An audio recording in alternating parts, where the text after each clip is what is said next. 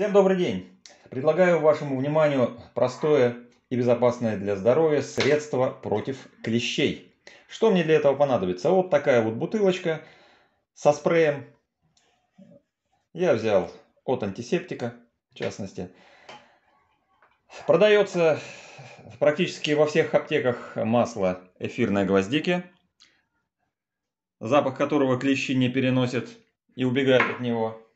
И спирт который у меня был.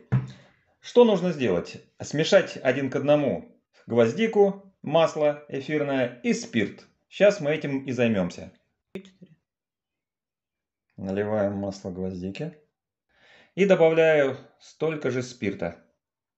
Естественно, будет проливаться.